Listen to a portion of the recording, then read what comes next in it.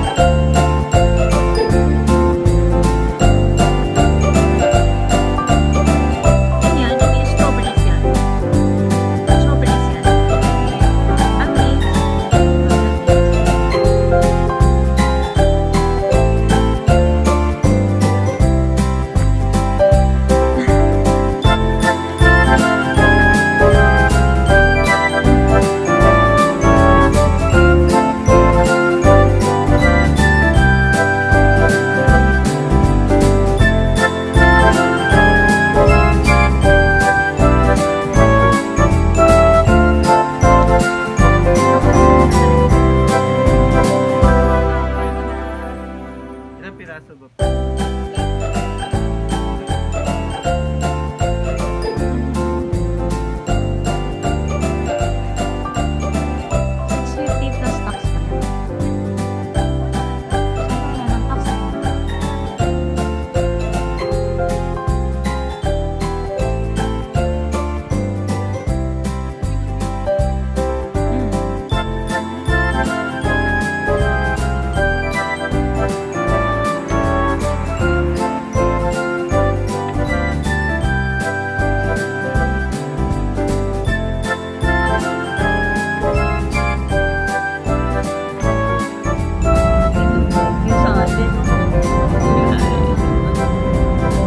bayad yun kapag yung dun sa atin, may bayad na 10 pesos.